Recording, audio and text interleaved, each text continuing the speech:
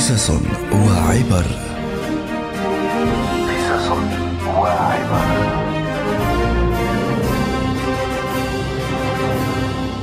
مستمعي إذاعة الحياة من القيروان مرحبا بكم في حكمة اليوم. أكيد أنكم سمعتوا بالمثل القائل عاد بخفي حنين أما مش بالضرورة كل اللي يعرف المثل يعرف قصته ولكن مهم نعرفوها. حنين كان يخدم إسكافي في مدينة الحيرة بالعراق صبابتي بعاميتنا اليوم.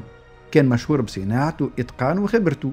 في يوم من الأيام مر قدام دكانه أعرابي ربط بعيره بجانب الحانوت ودخل الحنين يسأل فيه على الأحذية المعروضة ويدقق فيها عجبه صبات دال أعرابي بالتقليب والجدال والمساومة باهتمام كبير.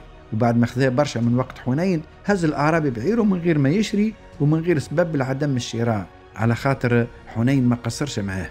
تغشش حنين من هذا التصرف. وقرر يلقن الأعرابي درس. خذا حنين هاك الفرتين متاع الصباط اللي عجب الأعرابي وخلط من طرق أخرى. سبق وحط الفردة الأولى في الطريق والثانية على بعد مسافة مناسبة للخطة. وتخبى في بلاصة يشوف منها اللي باش يصير الأعرابي. وعند ما وصل الأعرابي لقى الفردة الأولى. قال عجب! قداش تشبه الصباط اللي ريتو؟ قليلة شوية أما خسارة فردة واحدة. وخلاها واصل ثنيته. وبعد مسافة باهية لقى الفردة الثانية. ملي راها قال آه هذه الفردة الثانية.